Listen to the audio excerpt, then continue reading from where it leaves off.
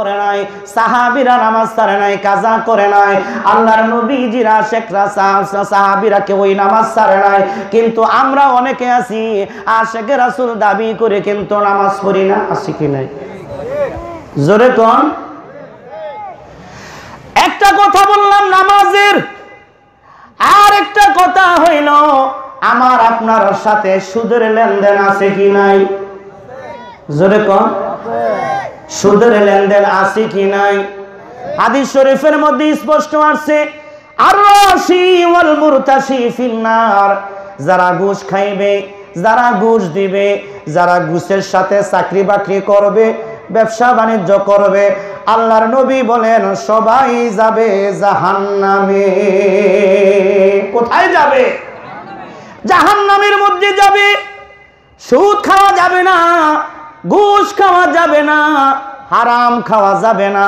যদি হালাল খাইতে পারো রে, যদি হালাল রিজিক খাইতে পারো, হালাল রিজিক খাইয়া যদি আল্লাহর কদমে সেজদা দিয়া, আল্লাহর কদমে সেজদা দিয়া যদি আল্লাহর কাছে মুনাজাত করো, আমার আল্লাহ সঙ্গে সঙ্গে তোমার দরখাস্ত কবুল করে নিবে। জোরে বলেন, ঠিক কিনা?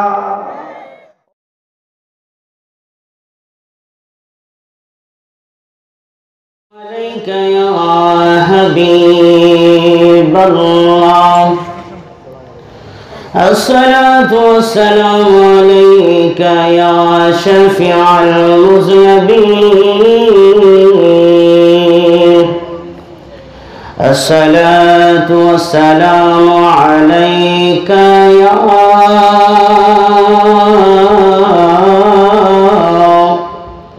رحمة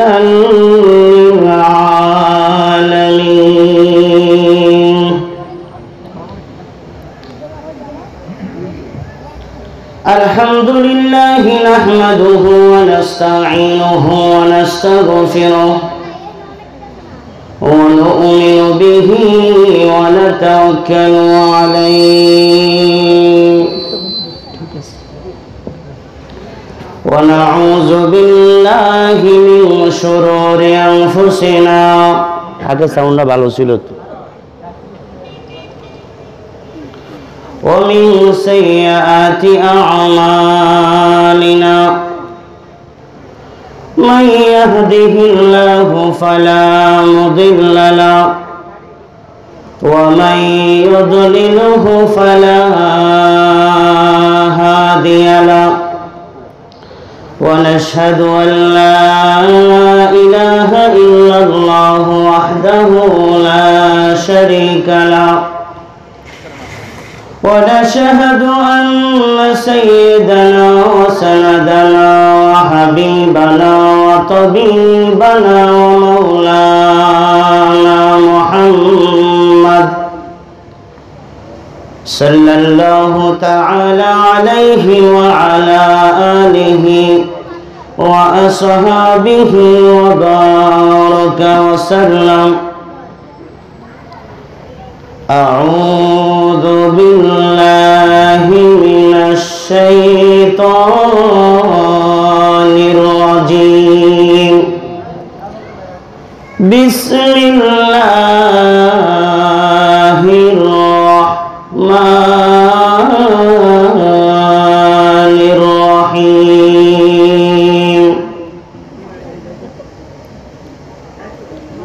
ياسين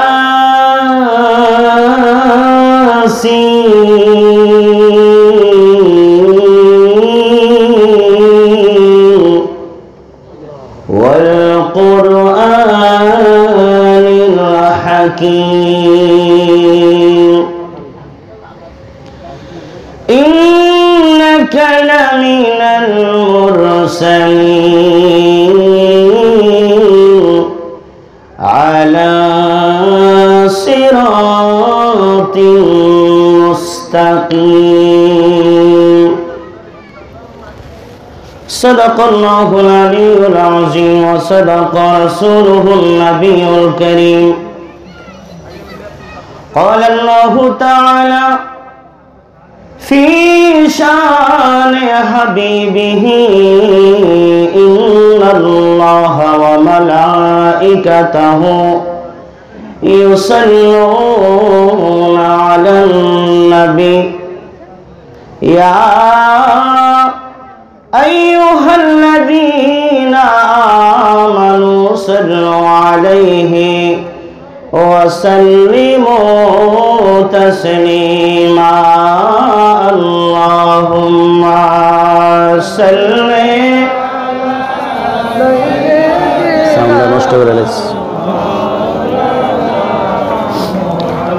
وعلى علي سيدنا محمد اللهم صل على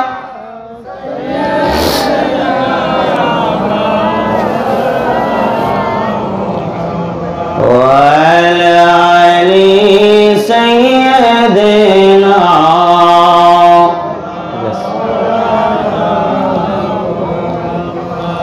নবী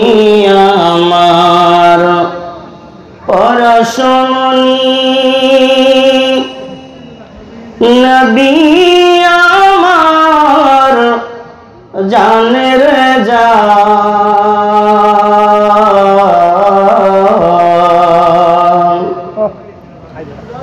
নবীজিকে না দেখিলে বাসিনায়া শিকের প্রাণ সাল্লি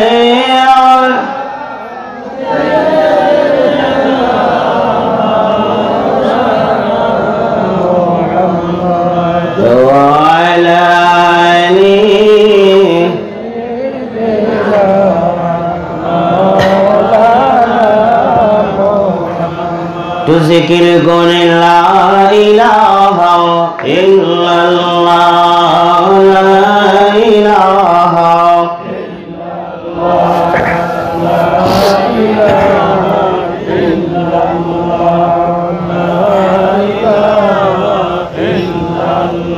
জোরে লা ইলাহা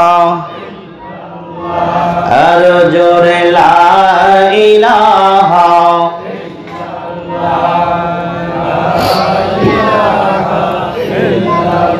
বহু দূরে মাদিনা।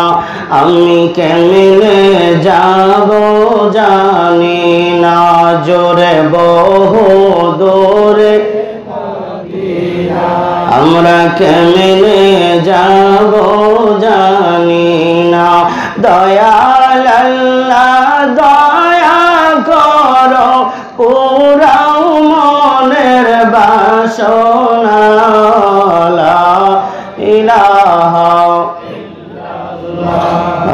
لا إله إلا الله لا إله إلا الله. لا إله لا إله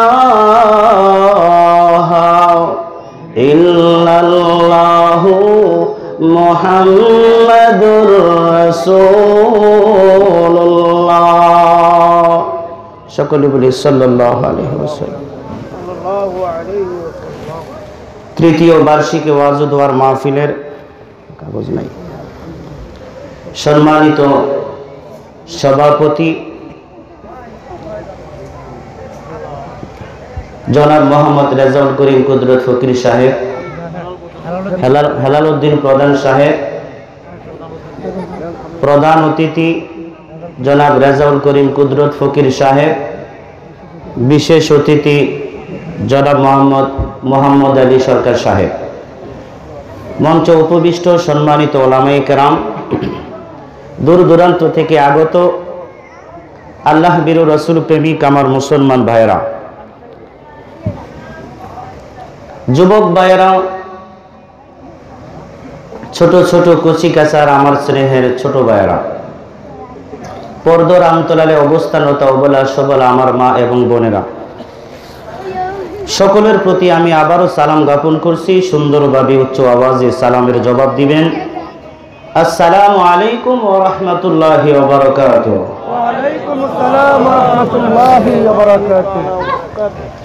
আজকের মাহফিলে আসতে পেরে আপনারা খুশি না বেজার? খুশি। একটু আওয়াজ জোরে দিতে হবে, কষ্ট হবে? জোরে বলেন, কষ্ট হবে? আজকের মাহফিলে আসতে পেরে আপনারা কি খুশি না বেজার আমি জানতে চাই। কারা কারা খুশি একটু দুই হাত তুলে দেখাই।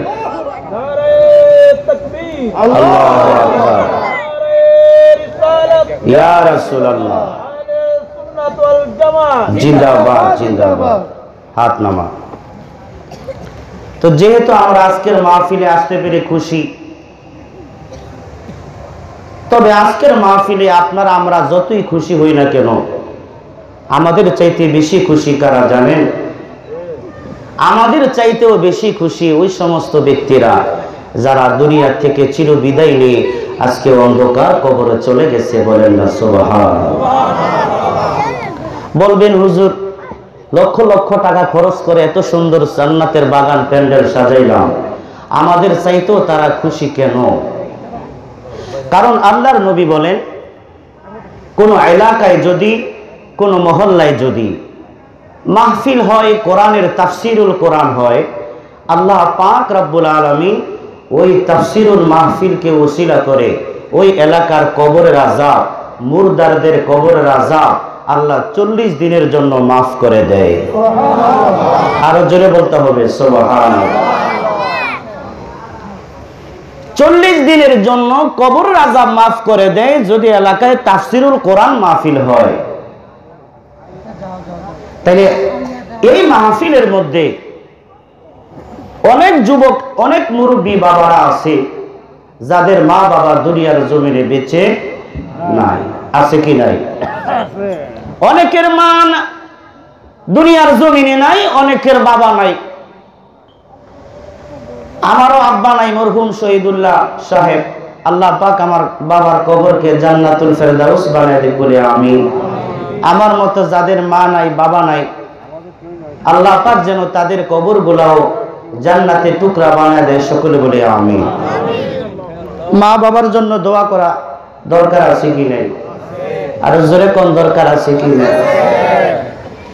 তো শুরুতেই আমি মালিক এলাহির দরবারে শুক্রিয়া জ্ঞাপন করছে যে আল্লাহ পাক আজকের এই জান্নাতের বাগানে আসার তৌফিক দান করেছেন। উচ্চ আওয়াজে বলে আলহামদুলিল্লাহ। আরও জোরে বলে আলহামদুলিল্লাহ। লক্ষ কোটি দুরুদ সালাম আমার নূর নবীজির নুরানি কদম মোবারকে। যেই নবীকে না বানাইলে আল্লাহ কিছুই বানাইতেন না। যেই নবীর উসিলায় এত সুন্দর পৃথিবী আমরা দেখতে পাইলাম। ঠিক কিনা বলেন? যেই নবী শুধু আপনার নবী, আমার নবী না, আমার নবী মোহাম্মদ রসুল্লাহ সাল্লাহ আলাইহাসাল্লাম তিনি জিব্রাইলেরও নবী, তিনি মিকাইলেরও নবী, তিনি ইসরাফিলেরও নবী আমার নবী আজরাইলের নবী, আমার নবী আদমের নবী, আমার নবী ইব্রাহিম খলিলুল্লাহর নবী, আমার নবী মুসা খালিদুল্লাহর নবী, আমার নবী ঈসা রুহুল্লাহর নবী, চিল্লা বলেন ঠিক কিনা? আমার নবী আসমানের নবী, আমার নবী জমিনের নবী, আঠারো হাজার মাখলুকাত, আশি হাজার আলমের নবী মোহাম্মদুর রসুল্লাহ জোরে বলেন সাল্লাল্লাহু আলাইহি ওয়াসাল্লাম। জোরে বলেন ঠিক কিনা? অন্যান্য নবীদেরকে আল্লাহ নির্দিষ্ট একটা দেশ, এলাকার জন্য পাঠাইছেন। সমস্ত নবীদেরকে আল্লাহ নির্দিষ্ট একটা স্থান ছিল, এরিয়া ছিল বাউন্ডারি ছিল। যেমন সরকার যারা হয়, প্রধান যারা হয় এমপি মন্ত্রী যারা হয়, তাদের নির্দিষ্ট একটা এরিয়া আছে কি নাই? এইরকম নবীদের, প্রত্যেক নবীদের একটা এরিয়া ছিল, একটা গোত্রের ছিল। কিন্তু আমার নবী, একজনই মাত্র নবী, যিনি কোনো গোত্রের নয়।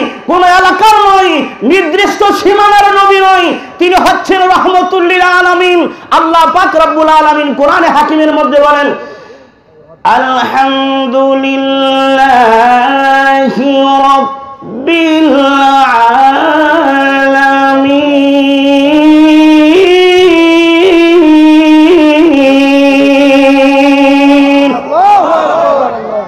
সমস্ত প্রতিপালকের রবকে আরও জোরে বলতে হবে কে? আল্লাহ পাকের রাজত্ব যতদূর পর্যন্ত আমার আল্লাহ পাক আমার রাসূলের সামনে বলেন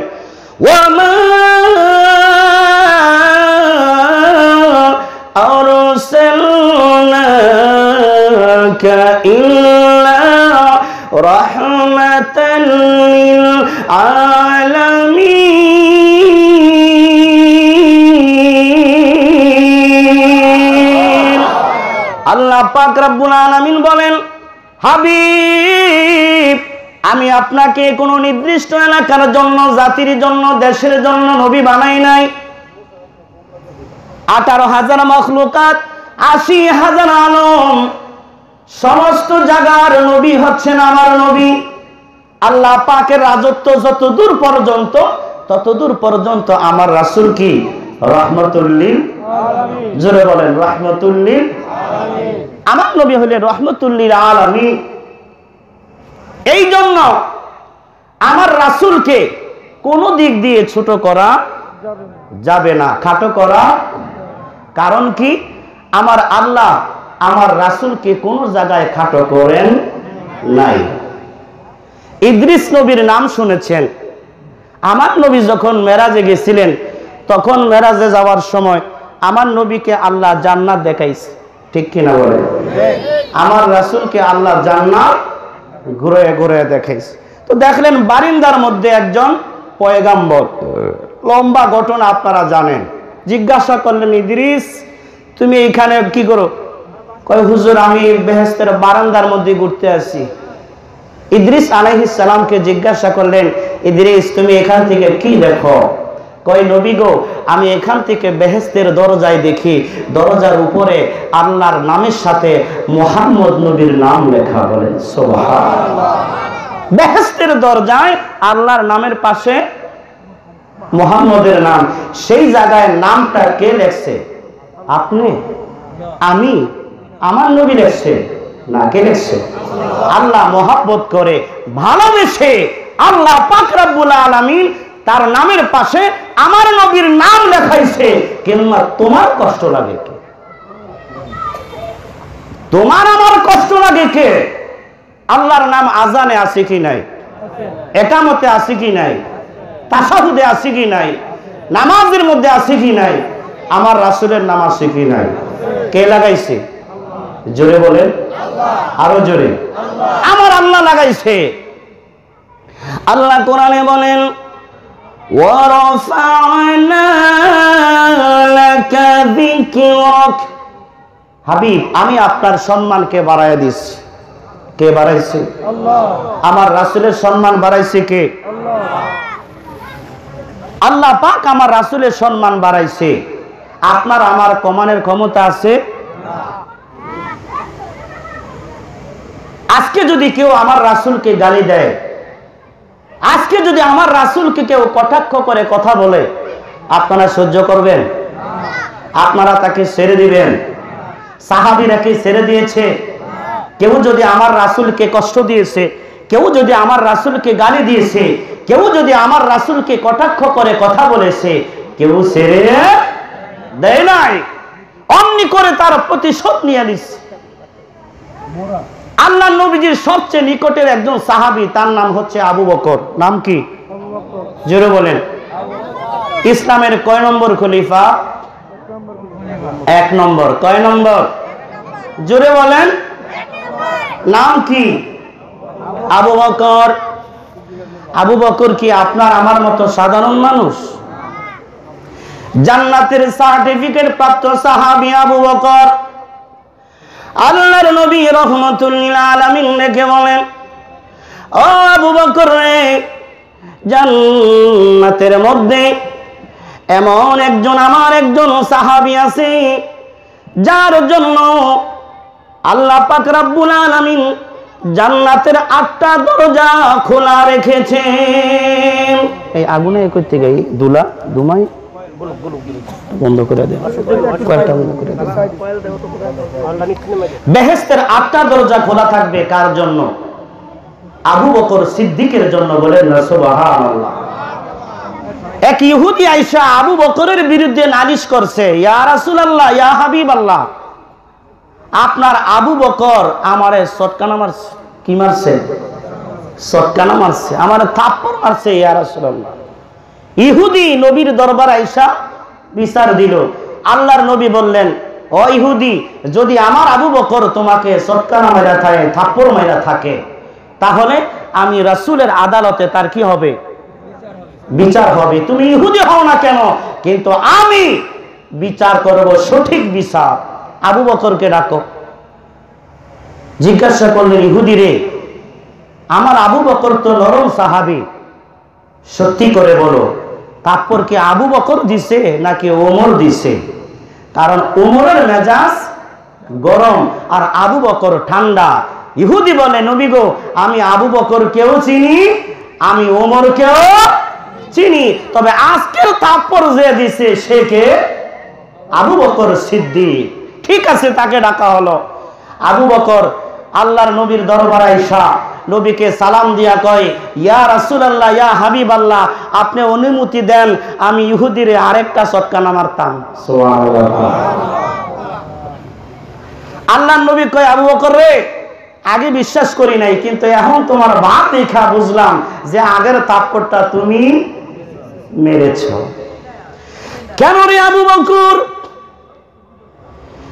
অন্যায় ভাবে কেন তুমি ইহুদির গায়ে তুমি থাপ্পড় মারলা, আঘাত করো না রে আবু বকর? এইবার আবু বকর সিদ্দিক ছিলেন একজন নবীর আশেক, নবীর পাগল। ঠিক কিনা বলে আবু বকর বলি, নবী গো, ও মায়ার নবীজি, এই ইহুদি আমার রাসুলকে গালি দিয়েছে, আমার নবীকে গালি দিয়েছে, আমার আল্লাহকে গালি দিয়েছে। আমি আবু বকরকে গালি দিলে আমি কিছু বলতাম না। আমি আবু বকরকে বোকা বাধ্য করলে আমি কিছু বলতাম না গনবী ইহুদি কেমন করে আমার আল্লাহকে গালি দিল, আমার রাসুলকে কেমন করে ইহুদি গালি দিল, যে আমার রাসুলকে আমার আবু বকরের সামনে যে গালি দিবে আমি আবু বকর ঠিক থাকতে পারি নাই। আমি চট করে তার গালে একটা থাপ্পড় মেরে দিয়েছি।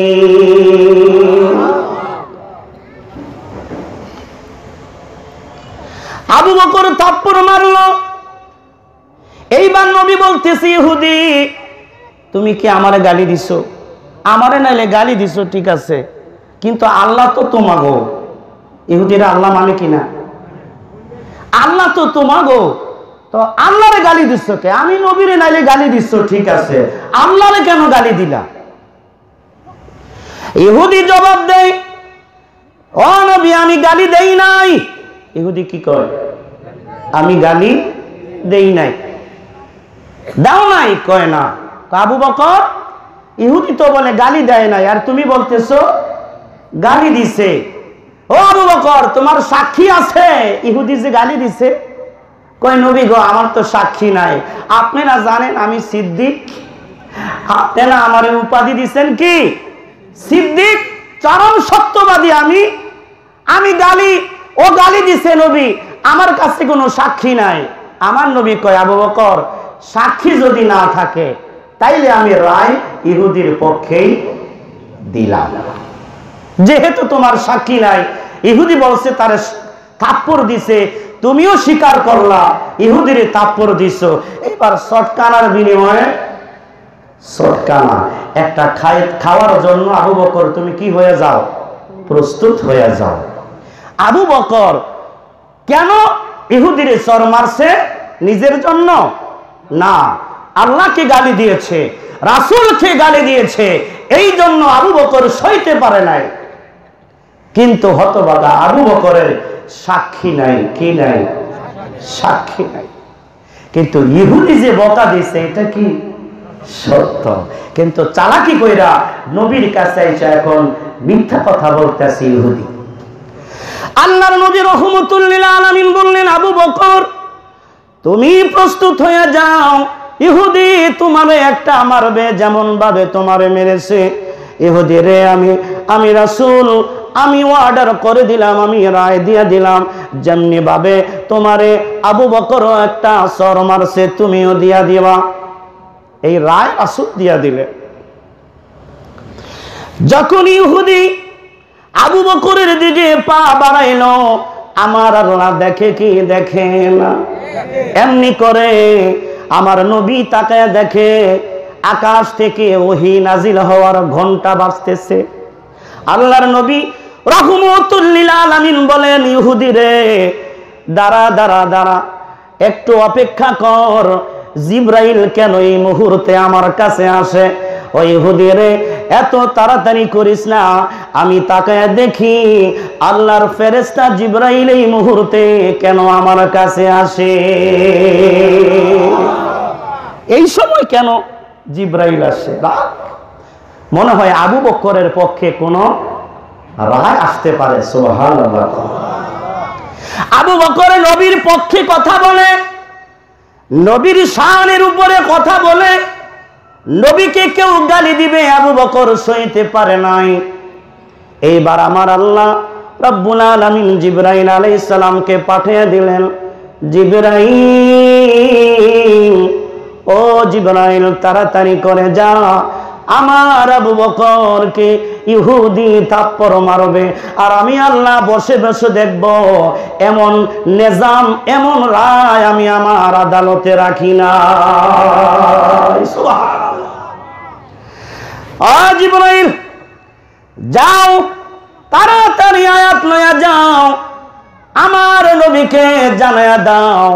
ইহুদি যে আমার রাসূলকে গালি দিয়েছে ইহুদি যে আমি আল্লাহকে গালি দিয়েছে, আবু বকরের পক্ষে আমি আল্লাহ সাক্ষী দিলাম। সাক্ষী কে দিছে? আল্লাহ পাক বলেন, লাকাদ সামি আল্লাহু কাওলাল্লাযীনা কাফারু।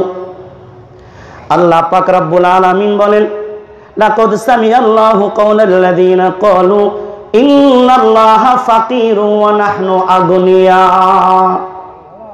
আল্লাহ পাক আয়াত নাজিল করে দিলেন, ও ইহুদি, তুমি যে আমাকে গালি দিয়েছ, আমার আল্লাহকে গালি দিয়েছ, আল্লাহ আয়াত নাজিল করে দিয়ে আবু বকরের পক্ষে আল্লাহ আয়াত নাজিল করে দিয়েছে।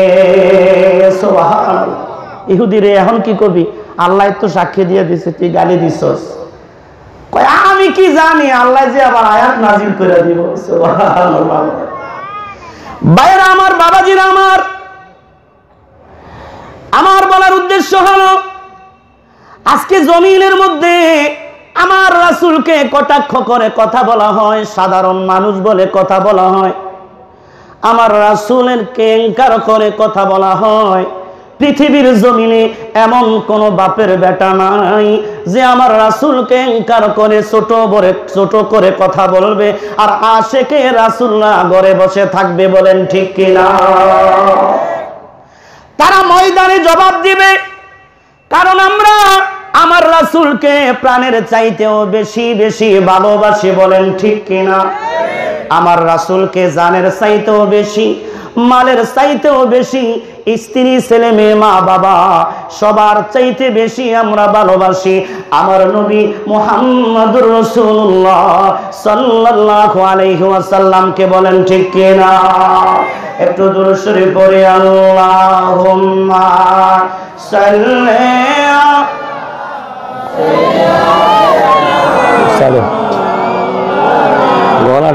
সাল্লি চলো গলাটা এমন হলো কে বুঝলাম না।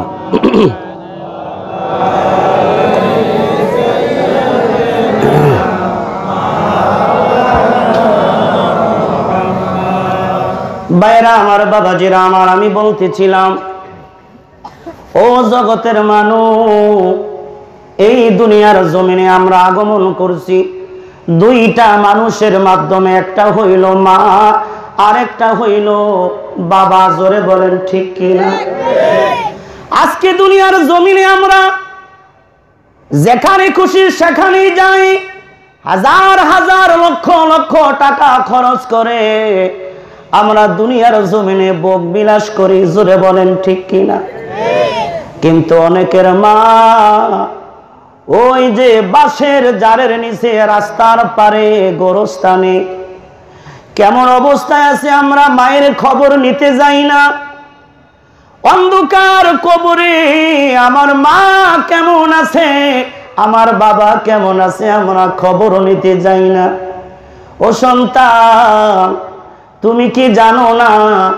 তোমার মা তোমাকে দশটি মাস গর্ভ ধারণ করেছে রে সন্তান। তোমার মা তোমার জন্য ঠিক মতো খাইতে পারে নাই।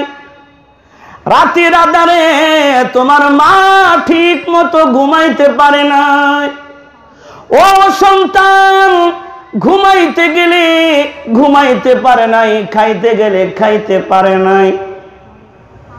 দুনিয়ার জমিনে আগমন করতে গিয়া তোমার মা তোমার মা তোমার জন্য জীবনটাকে তেজপাতা করে দিয়েছে বলেন ঠিক আজকে ওই মা অন্ধকার কবরে, ওই বাবা অন্ধকার কবরে মা বাবার খোঁজ খবর নেওয়ার এখন আমাদের সময় হয় না। বছরে একবারও মা বাবার জন্য আমরা দোয়া করতে পারি না। জোরে বলেন, ঠিক কিনা ও যুব, তুমি যখন দুনিয়ার জমিনে আগমন করলা যুবকরে একদিন নয়, দুই দিন নয়, এক বছর নয়, দুই বছর নয় দীর্ঘ দুইটা বছর তোমার মা তোমাকে দুধ পান করাইছে, বলেন ঠিক কিনা? তুমি টাও করে কান্তা, তুমি কিছু বলতে পারতা না, তুমি কিছু চাইতে পারতা না। তোমার কান্নার আওয়াজ শুনলে মা সমস্ত কাজকর্ম ছেড়ে তোমাকে কোলে নিয়েছে। তুমি প্রস্রাব করে দিয়েছ, পায়খানা করে দিয়েছ। পৌষ মাসের শীতের রাত্রে মা জনম দুঃখিনী, তোমার পসরা পায়খানা দেখে মা দূরে সরে যায় নাই। সবাই ঘুমায় রয়েছে মায় ঘুমায় নাই। সবাই দূরে চলে গেছে, নাকে হাত দিয়া, কিন্তু তোমার মা দূরে সরে যায় নাই। অনেকের বাবা চলে গেছে, মা জনম দুঃখিনী সন্তানকে বুকে লইয়া রাতের পর রাত, দিনের বড় তিন পাগলিনীর মতো মা কষ্ট করেছে। তোমার মা তোমার মুখে চুমা খাইছে, তোমার কপালে চুমা খাইছে। শুধু একটি নাম তুমি তোমার মাকে মা বলে ডাক দিবা। মা মারা গেলে মায়ের জন্য দোয়া করবা। বাবা মারা গেলে বাবার জন্য দোয়া করবা। আজকে বাবা অন্ধকার কবরে, ওই মা অন্ধকার কবরে। মা বাবার জন্য দোয়া করা দরকার আছে কিনা? আজকে বহু মানুষের আদর পায় কিন্তু মা যাদের নাই, মায়ের মতো আদর জমিনে কেউ করনি। তোমার মা তোমারে মানুষ করতে যাইয়া ঠিক মতো তিন বেলা ভালো খাবার খায় না। বড় মাছের মাথা রানলে মা তোমার সামনে আগে দিছে। তোমার বা তোমার বা, তোমার বাবা, তোমার জন্য।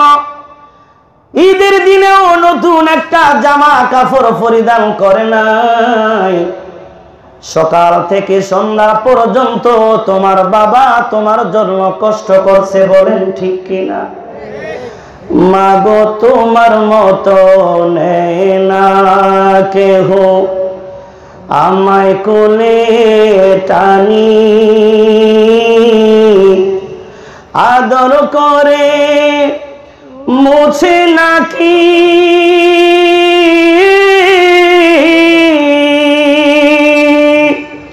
আদর করে মুছে না কেউ আমার চোখের পানি। হায় রে মা জননী, আমার হায় রে মা জননী, মাগো তোমার মতো নেই না কেহ। আমায় কোলে টানি, আদর করে মুছে নাকি।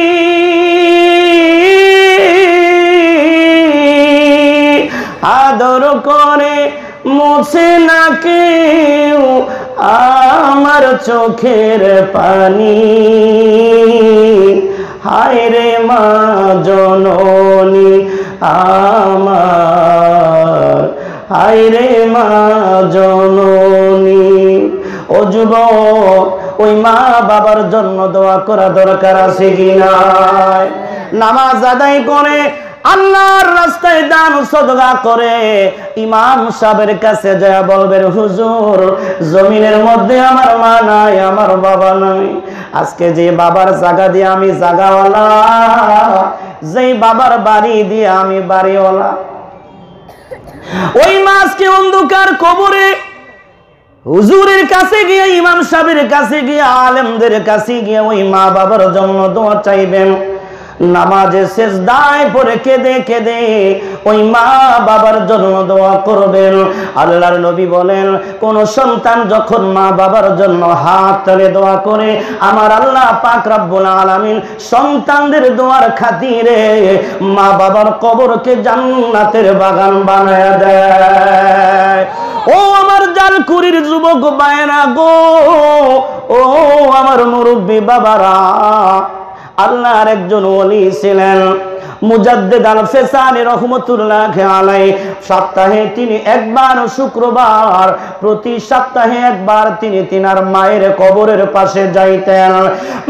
কবর অনেক দূরে ছিল। মায়ের কবরের পাশে যাইয়া প্রতি শুক্রবার সন্তান যখন দোয়া করতেন, আল্লাহ আমার মা আমার জন্য কত কষ্ট করেছে গো আল্লাহ। আমি আমি আমার মায়ের কবরের পাশে আইসা তোমার দুয়ারে দুই কানা হাত বাড়াইয়া দিলাম। আল্লাহ, তুমি আমার মাকে মাফ করে দাও, আমার আব্বাকে তুমি আল্লাহ মাফ করে দাও। মুজাদ্দিদ আল ফেসানি তিনি বলেন, আমি একদিন স্বপ্ন যুগে আমার মাকে দেখলাম, আমার মা জনম দুঃখিনী মা, স্বপ্ন যুগে আমার আইসা বলতেছে, আদরের বাবা।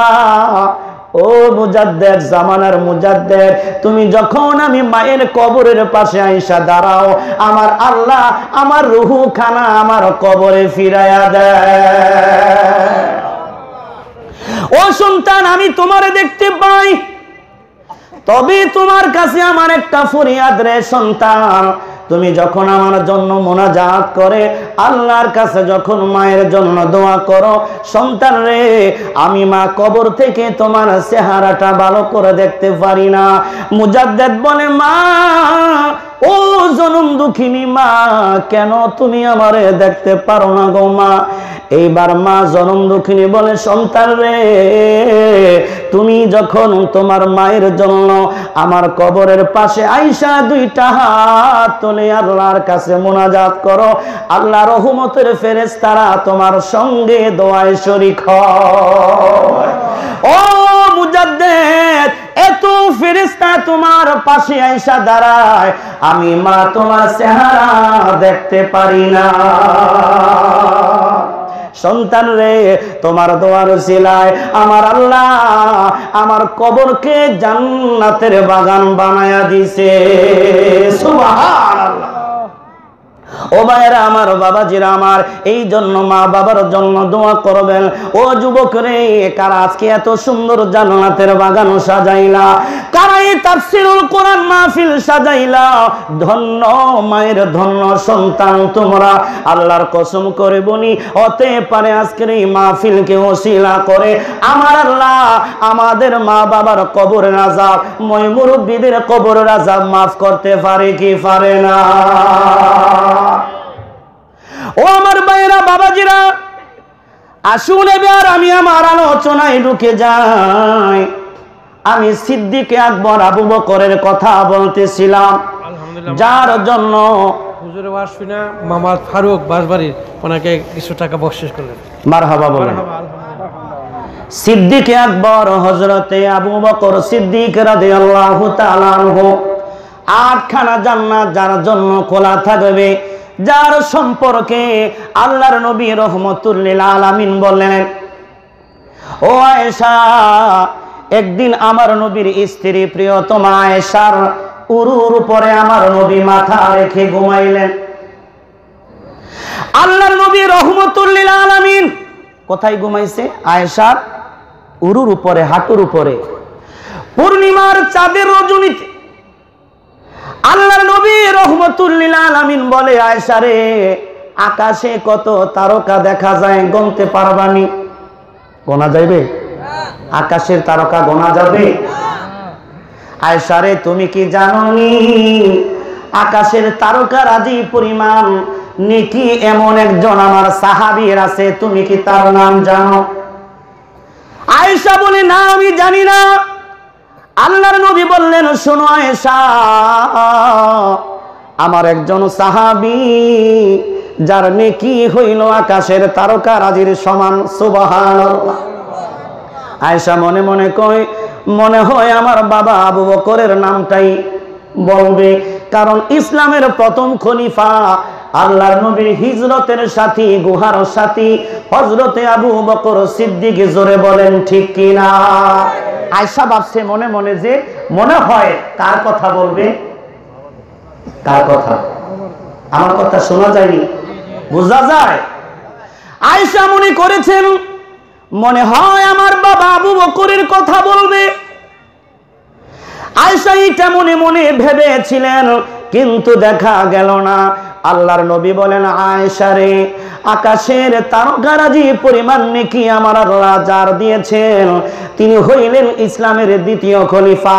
হজরতে ওমরে ফারুক রাদিয়াল্লাহু তাআলা আনহু চিল্লায়া বলেন, সুবহানাল্লাহ। কার নাকি? উমরের নাকি। নবীজি উমরের নাম কওয়ার পরে আয়েশার মনটা একটু বেজার হয়ে গেছে। আয়েশার মনটা কি হয়ে গেছে? আমার নবী মনের খবর রাখে কি রাখে না? হ্যাঁ। আমার নবী মনের খবর বলতে পারতেন। কি বলব রে ভাই? আল্লাহর নবীর একজন সাহাবী তার নাম হইল আবু হরায়রা। নাম কি? এই কই রাখলাম মনে রেখে আস আবু হুরায়রা! আল্লাহর নবীর একজন সাহাবী যিনি অধিক পরিমাণ সব চাইতে বেশি তিনি এ নাম নবীজি থেকে হাদিস বর্ণনা করেছেন আবু হুরায়রা। গরিব সাহাবী এক সময় ছিলেন, তিনি জুমার দিন জুমার নামাজের পরে রাস্তায় দাঁড়ায় রইলেন। ঘরের মধ্যে খাবার নাই, দেখি আল্লাহর নবীর সাহাবীরা নামাজ পড়তে যাওয়ার সময় যদি আমি হোরাইরাকে ডাক দেয়, তাহলে তাদের সাথে গিয়া লাঞ্চ করব। ঘরে খাওন নাই, গরিব সাহাবী। ওটা তাকায় দেখলেন আবু বকর আসতেছে। আবু বকরকে আবু হুরাইরা সালাম করলেন। সালাম দিলেন। ওই দেখি সালাম দিলে হয়তো কইতে পারে আবু বকর চলো আজকে আমার সাথে লাঞ্চ করো জুমার দিন। আমরা বলি কি বলি না। আবু হুরায়রা আবু বকরকে সালাম করলেন। আবু বকর বুঝলো না আবু হুরায়রার মনের কষ্টের কথা খিদার কথা আবু হুরায়রা বোঝে নাই। তাকায়া দেখলেন, আসলেন ওমর। ওমরকেও সালাম দিলেন।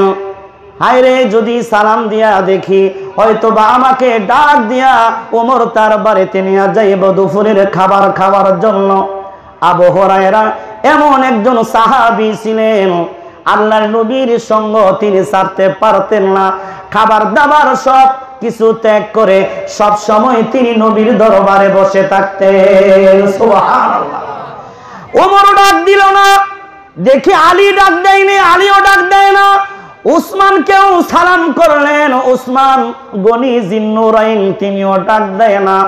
অতপর তাকে দেখলেন রহমতুল্লিল আলমিন আসতেছে। আমার নবী আসতেছে। আহারে, আমার নবী কত সুন্দর ছিলেন, ঠিক না? পূর্ণিমার চাঁদ আসতেছে। আমার নবী আবু হুরায়রার চেহারার দিকে তাকায় একটা মুস্কি হাসি দিলেন, সুবহানাল্লাহ। মুস্কি হাসি দিয়া বললেন, আবু হুরায়রা,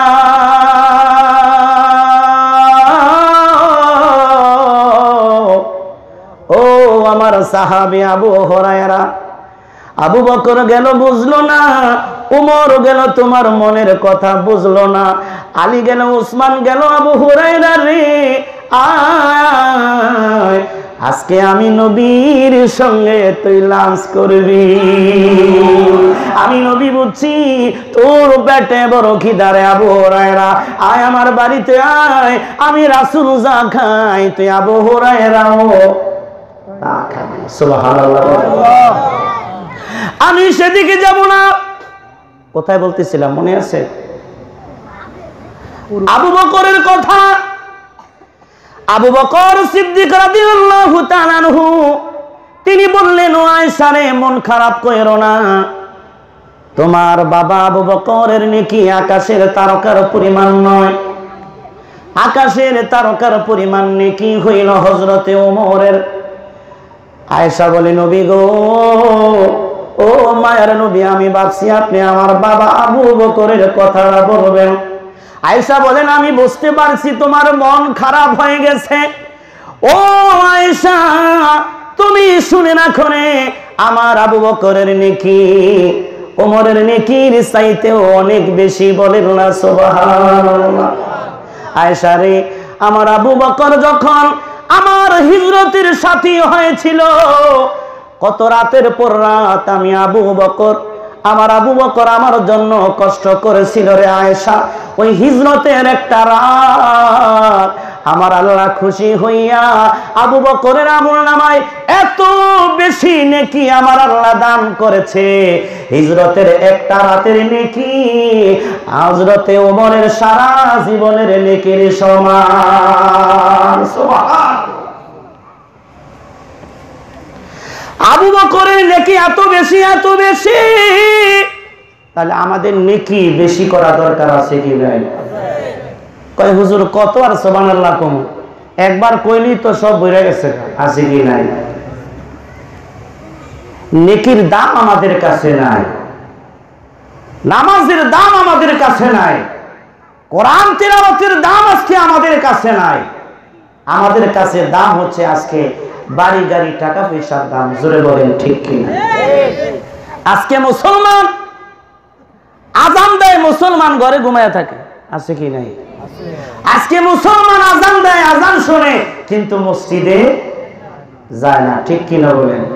এখানে অনেকে আছে, যারা আজকে এসা নামাজ পড়ে নাই, আছে কি নাই? জোরে বলেন, আছে কি নাই? নামাজ পড়া কি? জোরে বলেন, ফরজ! নামাজ ছাড়া যাবে না। মুয়াজ্জিন আজান দিলে মসজিদে গিয়ে জামাতের সাথে নামাজ আদায় করা আল্লাহ ফরজ করে দিয়েছেন। কিন্তু দেখা যায়, কত শত শত মুসলমান নামাজের সময় দেখি, নামাজের সময় হয়, ব্যবসায়ী ভাইয়েরা আপনারা রাগ কইরেন না, রাগ করবেন? নামাজের কথা কইলে? সুদের কথা কইলে রাগ করবেন? না কম যাইব না। কম যাইব? ও আমার ব্যবসায়ী ভাইয়েরা ও আমার দোকানদার ভাইয়েরা দুনিয়া সম্পর্কে আমরা খুব ভালোই বুঝি। আমরা তো আমাদের আল্লাহর কথা শুনি না রাসূলের কথা শুনি না। আমরা শুনি আমাদের ঘরের স্ত্রীর কথা। কার কথা? জোরে স্ত্রীর কথা মনে না। আচ্ছা কই কি রে? কয় আমনের খবর আছে, দেশের কোনো খোঁজ খবর রাখছেন? কয়, কি কয়, দেশের একটা মানুষও আমনের কথা শোনে না। সবাই হেরার বোর কথা হবে কয়, কস কি? আমি খাওয়াই, আমি ফালি আমি দেশের রাজা, আমি বাদশাহ, আমার কথা শোনে না হেরা বউর কথা হনে কস কি? কয়, হ, না হইলে পরীক্ষা করে দেন কি করে দেখেন? পরীক্ষা করে দেখেন। ঠিক আছে, আগামী শুক্রবার পরীক্ষায় যাইব, দেখি। এরা কি আমার কথা শুনে নাকি আর কথা শুনে? তো বাদশাহ এই, যারা আমার কথা শোনো, তারা ডান দিকে যাও। আর যারা বোর কথা শোনো, এরা কোন দিকে যাও? বাম দিকে যাও। বাদশাহ ছায়া দেহে সব বাম দিকে। কোন দিকে? জোরে বলেন। সব বাম দিকে। আর একটা মানুষ ডাইনেও না, বামেও না। হ্যাঁ সোজা মাঝখানে বয়ে রয়েছে পরে বাদশাহ কই কিরে, তুই ডাইনেও যাস না, বামেও যাস না। তুই মাঝখানে কারি রয়েছিস কে কয়া, বাড়ির থেকে যখন আই আমার বউ কইছে, যেন বইয়া থাকবি বইয়া থাকতে হইব। জাগার থেকে লড়লে বেড়ে আছে কি নাই? কয়, বাদশাহ, আমি যদি লড়ি, আমার বউ আমারে খেপায়া লাইব। এর লেগে আমি জাগার থেকে আছে কি নাই? কথা শুনতে হবে কার? সবার আগে কার হুকুম? আরও জোরে বলেন, সবার আগে কার হুকুম? ও আমার ব্যবসায়ী ভাইরা আজান দিলে দোকান খোলা রাখবেন না। আজান দিলে ব্যবসার কাজ বন্ধ রাখবেন। পারবেন নি এখন বলবেন, হুজুর, আজান দিলে কেন ব্যবসার কাজ বন্ধ রাখব? আজানের পরে যদি কোনো মুসলমানের ঘরের সন্তান দোকান খোলা রাখে, ব্যবসা করে, ওই ব্যবসায় যত টাকা হবে সমস্ত ইনকাম গুণা তার হারাম হবে। এই হারাম খাইয়া যদি তুমি নামাজে আল্লাহর কদমে সেজদা দাও, তাহাজ্জুদ পড়ো ইরশাদ পড়ো, আওয়াবিন পড়ো, হজ করো, যাকাত করো, বাইতুল্লাহ শুনে তওয়াফ করো। আমার আল্লাহ বলেন, কোনদিন আমি আল্লাহ কবুল করব না, কারণ তোমার পেটের ভিতরে আছে হারাম। জোরে বলেন, ঠিক কিনা? আজকে আজান দিলে দোকান খোলা থাকে না, বন্ধ থাকে। মাথায় টুপি, চেহারায় দাড়ি। আজানের সময় মসজিদে যায় না, দোকানের পাশে হইল মসজিদ। কত বড় আস্পর্দা কত বড় সাহস, কত বড় তোমার বুকের পাঠা। আল্লাহ পাক রব্বুল আলামিন তোমাকে রাখছেন হাইয়া আলা সালাহ হাইয়া আলা ফালাহ আসো, সফলতার দিকে আসো, কামিয়াবির দিকে। ও ব্যবসায়ী ভাইয়েরা, আজকে আমি বলতে চাই, নামাজ আগে নাকি ব্যবসা আগে? দুই হাত তুলে বলতে হবে, নামাজ আগে না ব্যবসা আগে? কারা কারা? আগে কোনটা, ব্যবসা? জোরে কন। আগে কি? হাত নামান। বেহেস্তের চাবি কিও? জোরে বলেন। করে নাই, সাহাবিরা নামাজ ছাড়ে নাই, কাজা করে নাই। আল্লাহর নবীজিরা, শেখরা, সাহাবিরা কেউ ওই নামাজ ছাড়ে নাই। কিন্তু আমরা অনেকে আছি রাসুল দাবি করে কিন্তু নামাজ না নাই? জোরে কন? একটা কথা বললাম নামাজের আর একটা কথা হইল, আমার আপনার সাথে সুদের লেনদেন আছে কি নাই? জোরে কন। সুদের লেনদেন আছে কি নাই? হাদিস শরীফের মধ্যে স্পষ্ট আছে যারা ঘুষ খাইবে, যারা ঘুষ দিবে, যারা ঘুষের সাথে চাকরি বাকরি করবে, ব্যবসা বাণিজ্য করবে, আল্লাহর নবী বলেন, সবাই যাবে জাহান্নামে। কোথায় যাবে? জাহান্নামের মধ্যে যাবে, সুদ খাওয়া যাবে না। ঘুষ খাওয়া যাবে না, হারাম খাওয়া যাবে না। যদি হালাল খাইতে পারো রে, যদি হালাল রিজিক খাইতে পারো, হালাল রিজিক খাইয়া যদি আল্লাহর কদমে সেজদা দিয়া, আল্লাহর কদমে সেজদা দিয়া যদি আল্লাহর কাছে মুনাজাত করো, আমার আল্লাহ সঙ্গে সঙ্গে তোমার দরখাস্ত কবুল করে নিবে। জোরে বলেন, ঠিক কিনা? ও আমার বায়রা বাবাজিরা আমি বলতেছিলাম, আল্লাহর নবীজির একজন সাহাবীর কথা। তার নাম হইল হজরতে আবু বকর সিদ্দিক রাদিয়াল্লাহু তাআলা আনহু। আয়েশা সিদ্দিকা বলেন, আমার নবী রহমতুল্লিল আলামিন এমন কোন দিন নাই যেই দিন আমার বাড়ি আবু বকরের বাড়ি আসতেন না। সুবহানাল্লাহ বলে আল্লাহর নবীর সাথে আবু বকরের সম্পর্ক অনেক গভীর ছিল। আবু বকর আমার নবীকে প্রাণ ভরে ভালোবাসতেন। একদিন বললেন, আবু বকর রে, তোমার জীবনে সব চাইতে প্রিয় কাজ কি? আবু বকর, আমাদের জীবনে প্রিয় কাজ কি? সুদ খাওয়া, ঘুষ খাওয়া, নাচানাচি, ফালাফালি, লাফালাফি, আছে কি নাই? জোরে বলেন, আছে কি নাই? কেউ বা বলবেন হুজুর আমার সব চাইতে প্রিয় হইল স্টার জলসার জি বাংলা। আছে কি নাই? স্টার জলসার জি বাংলা। আজকে না বলল এটাই সত্য। ঘরে ঘরে আছে কি নাই? কেউ বলবে আবার হুজুর, আমার প্রিয় কাজ হলো কানের ভিতরে হেডফোন লাগায়া গান শোনা, আছে কি নাই? ও যুবক, আমি সত্য বাস্তব ঘটনা বলছি রে, আজ থেকে প্রায় পনেরো দিন আগের ঘটনা। জাল করে বিশ্বরোড থেকে আমি যখন পার হইলাম, আমি তাকে দেখলাম একটা টক বগে যুবক, আমার পাশে দাঁড়ায় রয়েছে, তার কানের ভিতরে হেডফোন কানে কি? মানুষ দরাদরি করে তার রিক্সার মধ্যে উঠায়। আমি বললাম রিক্সাওয়ালা ভাই এই যুবকটার কি হয়েছে? বিশ থেকে পঁচিশ বছরের বয়স যুবকের উসালাম মাসুলের স্টাইল করা। আমি বললাম তার কি হয়েছে? এইবার রিক্সাওয়ালা বলল হুজুর কিছুক্ষণ আগে একটা গাড়ি এসে তার পাওটাকে ভেঙে দিয়ে চলে গেছে। পাওটাকে? নদীটা পুরা ভেঙে ফেলছে। এইবার যুবকটার এখনও জ্ঞান আছে। যুবকটা কি করল রে ভাই? একটু মনোযোগ দিয়ে শুনবেন, যুবকটা পকেট থেকে মোবাইলটা বের করল। কি বের করল? পকেট থেকে মোবাইলটা বের করে, সবার আগে সে একটা মোবাইলে কল করতেছে। আমি দেখলাম যুবকটা সবার আগে সে যাকে কল করল, কল করে বলতেছে, মা মাগো রাস্তার মধ্যে চলতে গিয়ে আমার পাওটা ভেঙে গেছে গো মা। আমি শোনার পরে আমার মাথাটা চক্কর মেরে দিল চোখে পানি এসে গেল।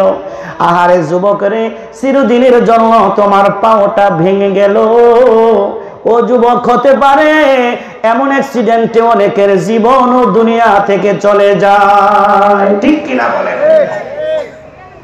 ও আমার ভাইয়েরা বাবাজিরা এই জন্য মরার আগে নিজেকে সংশোধন করো।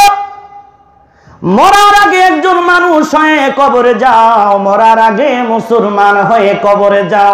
ঠিক কিনা বলে? আজকে অনেকের পকেটে টাকা আছে কিন্তু নবীর পাগল, নবীর এসকের গান গায়। দিবানি সে মনরে আমার, আর দিও না যন্ত্রণা। দন যদি হইতাম, দনি যাইতাম সোনার মদিনা। আল্লাহ হুম্মা সাল্লি আলা সাইয়্যিদিনা নাবিয়ানা শাফিয়ানা মাওলানা মোহাম্মদ আল্লাহুম্মা সাল্লি আলা আমাদের জীবনের প্রিয় কাজ আছে কি নাই? আমার পছন্দের জিনিস আছে কি নাই? আবু বকরকে যখন প্রশ্ন করা হলো, আবু বকর, ও আমার আবু বকর রে, তোমার জীবনের প্রিয় কাজ কি? আবু বকর জবাব দেয়, ইয়া রাসূলুল্লাহ, ইয়া হাবিবাল্লাহ, আমার জীবনের প্রিয় কাজ হলো আমার নবীজির চেহারা মোবারক দেখা। ইয়া রাসূলুল্লাহ হাবিবাল্লাহ আপনার চেহারা না দেখলে আমার ভালো লাগে না। একদিন নবী আইসা বলল, আবু বকর রে, মক্কার মানুষের আমারে মক্কায় মনে থাকতে দিবে না। আমাকে তায়েফে গেলাম, তায়েফের মানুষেরা আমাকে মারধর করল। আমার নবী যখন ইসলাম প্রচারের কাজে তাইফের ময়দানে গেছে হজরতে জায়েদ রাদিয়াল্লাহু তাআলা নবীর সাথে খেয়াল করবেন।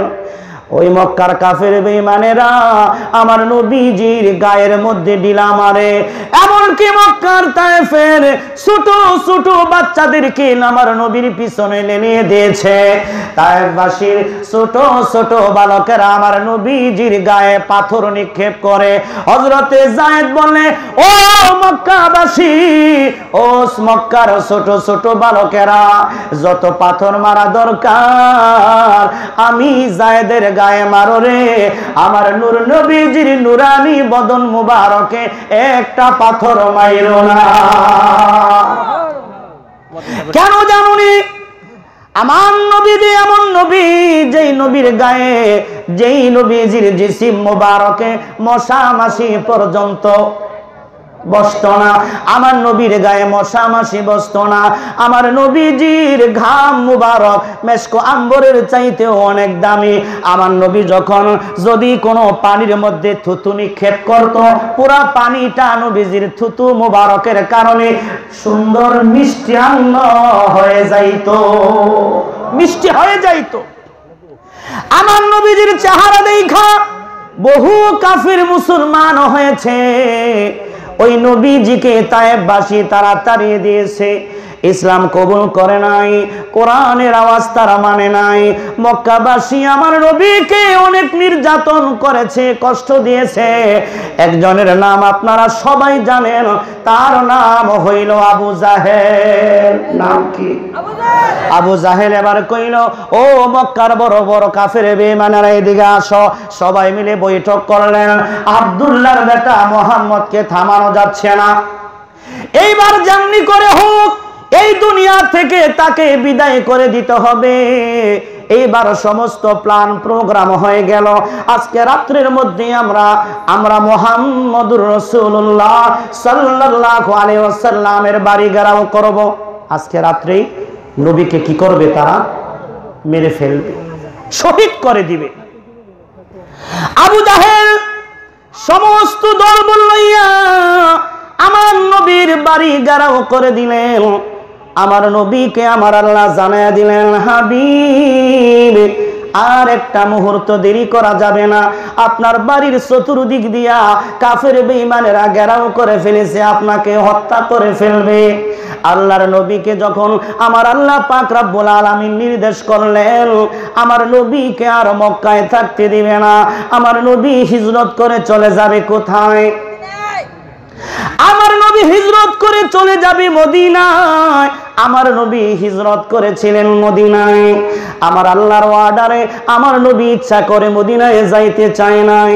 আমার নবী বলেন মক্কারে ও বাইতুল্লাহ, আমি তোর ভালোবাসি, কারণ এই মক্কা হইল আমার জন্মভূমি, আমার প্রাণের ভূমি মক্কা। আমার যাইতে মনে চায় না।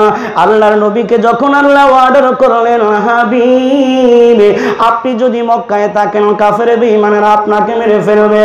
আমি আল্লাহ ঘোষণা দিলাম আপনি যান মদিনায় হিজরত করেন। সাথী বানায়া দিলাম আবু বকরকে। কাকে? আবু বকরকে আমি আল্লাহ সাথী বানায়া দিলাম। আবু বকরকে লইয়া আপনি মদিনায় হিজরত করেন। আল্লাহ নবী বলেন, আলী রে, ও আমার আলী, তুমি তাড়াতাড়ি এদিকে আসো। আমি যেই বিছানায় ঘুমাই, আমি যেই বিছানায় কম্বল গায়ে দিয়া ঘুমাই, আলী রে, তুমি আমার বিছানায় কম্বল গায়ে দিয়া ঘুমায়া থাকবা। সুবহানাল্লাহ। আলীকে বললেন, আমার বিছানায় কম্বল গায়ে দিয়া ঘুমায় থাকবা। এখন যদি আমার নবীকে না পাইয়া আলীরে ইচ্ছা করলে কি করতে পারে? বাড়তে পারে কি পারে না। কারণ মোহাম্মদের পাই নাই, তোরে পাইছে, কি করে দিমু? শেষ করে দিমু। যদি আমাকে কইতো যে আমি তো জামুগা তুমি আমার বিছানায় থাকো। হায় হায়, আলী তখন একলা ঘরের ভিতরে পিসা আমি নাই। ঠিক কি না বলেন? ডাইরেক্ট মেরে লাইব, মরণের ভয় কে না পায়? এক বুড়ি আসছিল বুড়ি ছিলেন বুড়া মানুষ। পোলা বাইলে বাদ কাপড় কিছুই দেয় না, আছে কি নাই? আছে কি নাই? গ্রামে মারে রাখছে। আহারে, কাম করতে করতে ফিটটা বেকা হয়ে গেছে। জঙ্গলে গেছে লাকড়ি টোকাইতে। এখন এমন বড় গাঠটি বান্ধা এইবার গাঠটি যখন উড়াইবো, এখন আর উঠাইতে পারে না মাথায়। তখন কষ্টে থেকে বলতেছে, আহারে, আজরাইল কত মানুষের দেহে? আমারে দেহে না। কয় কি কয় না? তো কিছুক্ষণ পরে ফাগড়ি পইরা, সাদা পোশাক পইরা একজন মুরব্বী আসছে। কয়, মাগো, আমি তো আইছি। কয়, কে তুমি? কয়, একটু আগে যারে ডাক দিছ। আমি আয় পড়ছি, আজরাইল। কয়, আজরাইল, তুমি আয় পড়ছো? কয়, হ। একটু আগে না, আপনি আমার ডাক দিলেন আমরা বলে কেউ দেখে না। তা আমি দেখছি, চলেন। কয়, না না, আমি যাব না, তো আইসো যা তুমি কাজ করো বাবা, আমার এই বোঝাটা আমার মাথায় তুলে দিয়া যাও বা আজরাইলে কি বোঝা মাথায় দিতে নাকি নিতে আজরাইল আইলে সাইরা যায়? জোরে বলেন। আজরাইল একদিন আমাদের সামনে আসবে কি আসবে না? মরতে হবে কি হবে না? কুল্লু নাফসিন যায়িকাতুল মাউত। আইনামা তাকুনু ইদরিকুমুল মাউতু ওয়ালাউ কুনতুম ফি বুরুজিন মুশাইয়া সীসা ডালা প্রাচীরও যদি তুমি করে থাকো, মৃত্যুর কবল থেকে বাঁচানোর ক্ষমতা নাই। আরেকটা কথা আছে, আল্লাহ যদি তোমাকে রাখে, কেউ মারণের ক্ষমতা আল্লাহর নবী বললেন আমি মদিনায় হিজরত করব। আমি নবীজির কাছে কাফের বেঈমানেরা কিছু আমানত রাখছে। আমানত? নবীজির কাছে কি রাখতো? কাফের বেঈমানেরা আমানত রাখতো, সম্পদ। এই আমারতগুলা তুমি মানুষের কাছে বুঝা দিবা। আমি হিজরত করতেছি আবু বকরকে লইয়া, আর আমার বিছানায় তুমি শুয়া থাকবা, কম্বল গায়ে দিয়া।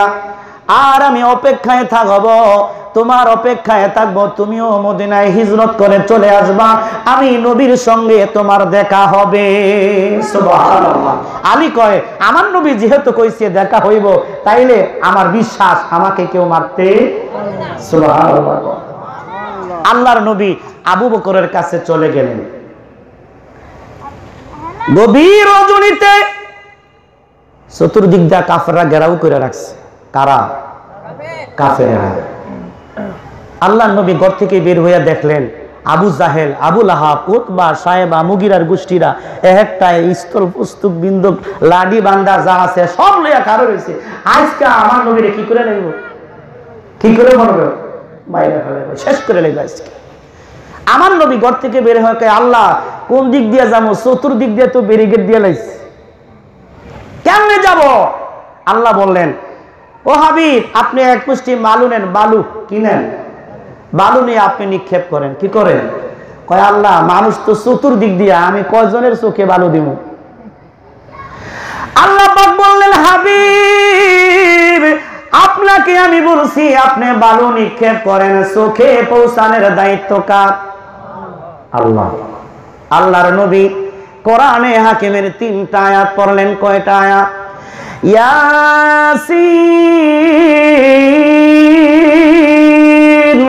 ওয়াল কুরআনিল হাকীম। ইন্নাকা লামিনাল মুরসালিন।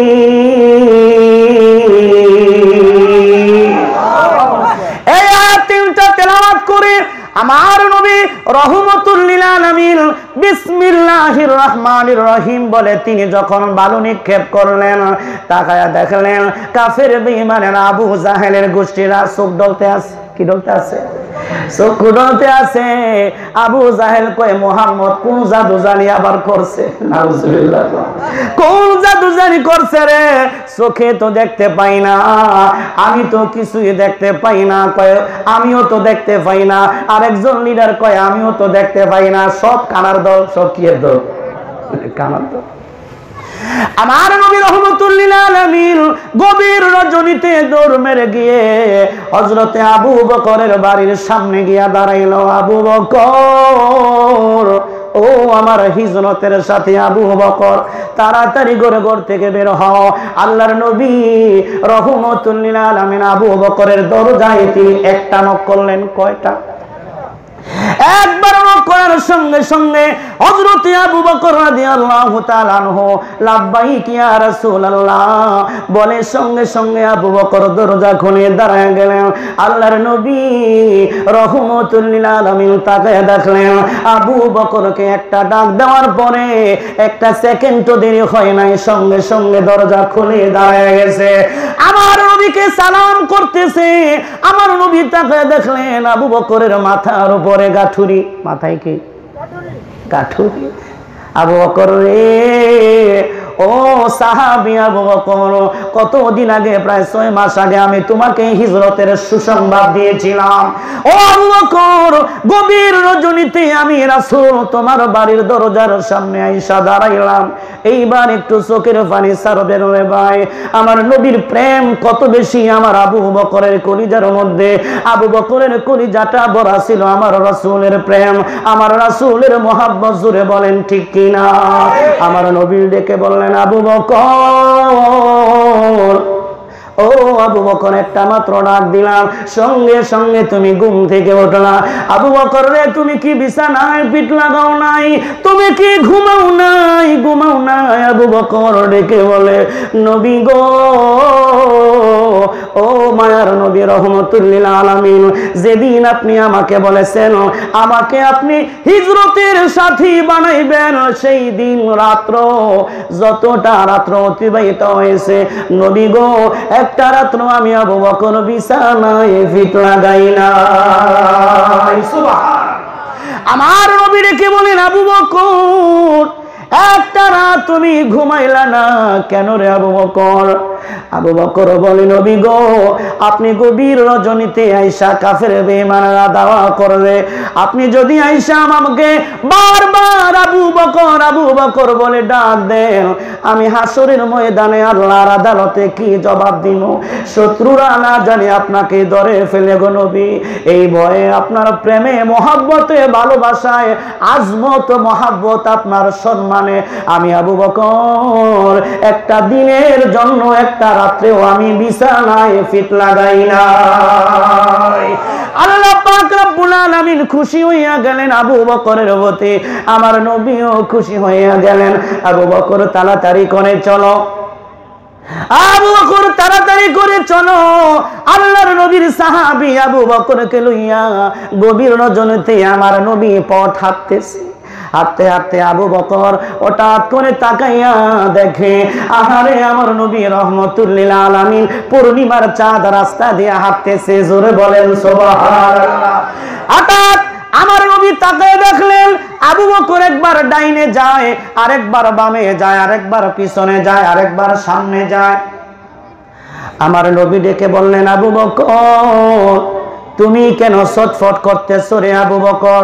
একবার ডানে, আরেকবার বামে, আরেকবার সামনে, পিছনে কেন তুমি ছটফট করো? আমার আবু বকর ডেকে বলে, নবী গো, আমি যখন ডান দিকে যাই, আমার মনে হয় কাফের বেইমানেরা আপনাকে বাম দিক দিয়া তীর মারবে, আক্রমণ করবে। তখন আমি আবার দৌড় মেরে বাম দিকে আসি। আমি যখন বাম দিকে যাই, আমার মন বলে মনে হয় ডান দিক দিয়ে আমার রাসূলকে আঘাত করবে। আমি আবার দৌড় মেরে ডান দিকে যাই। হঠাৎ করে আবার মনে হয়, সামনে দিয়ে না জানে শত্রু বাহিনী আমার রাসূলের উপর আঘাত করে। আমি আবার দৌড় মেরে সামনে আগায়া যায় ও নবী, আবার মনে হয় পিছন দিক থেকে না জানে আবু জাহেলের গোষ্ঠীরা আমার নবীকে তীর মারে। আমি আবার দৌড়ায়া পিছনের দিকে যাই গো নবীজি। এই জন্য আমি ছটফট করি গো নবী। আল্লাহর নবী রহমতুল্লিল আলামিন বলে আবু বকর রে। ও আমার আবু বকর, আমি রাসূলের জন্য তুমি এত মায়া কেন রে আবু বকর বলো? আবু বকর বলে, নবীজি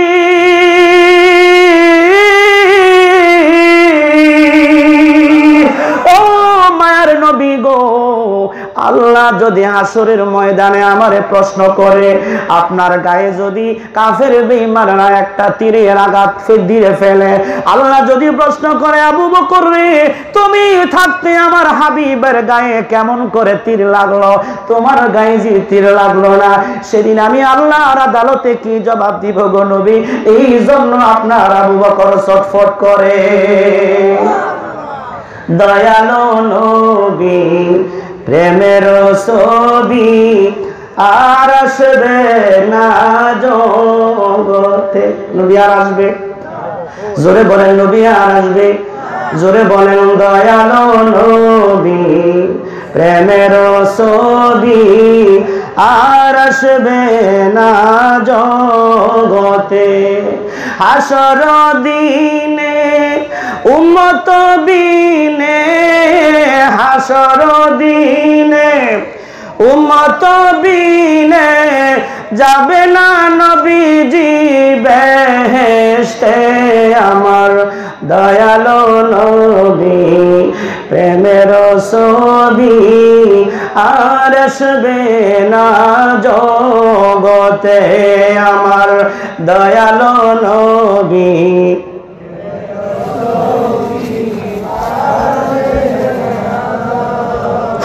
ও আমার ভাইয়েরা বাবাজিরা এইবার আবু বকর চোখের পানি ছেড়ে দিয়ে নবীজির কদমে পড়ে গেলেন নবী গো আপনি টেনশন কইরেন না আপনি চিন্তা কইরেন না। আমার নবী রহমতুল্লিল আলামিন চলতে চলতে একটা পর্বতে গেলেন সেই পর্বতটার নাম হইল হেরা গুহা। নাম কি? জোরে বলেন।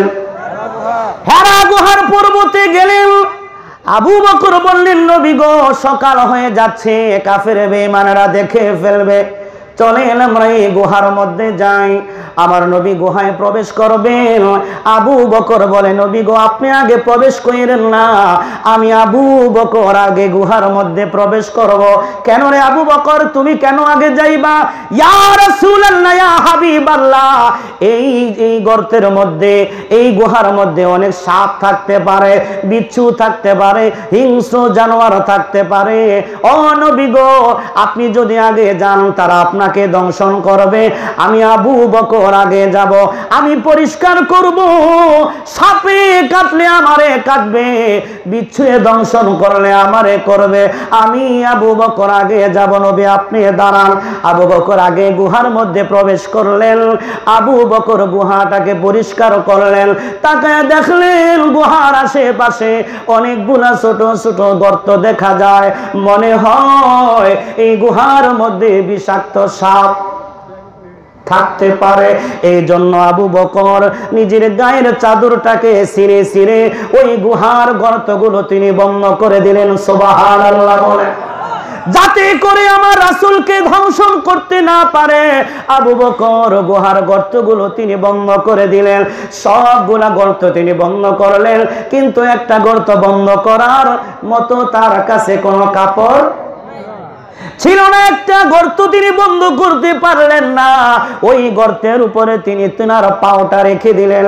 আবু বকর শেষ গর্তটার উপরে তিনি তেনার পাওটা রেখে দিলেন।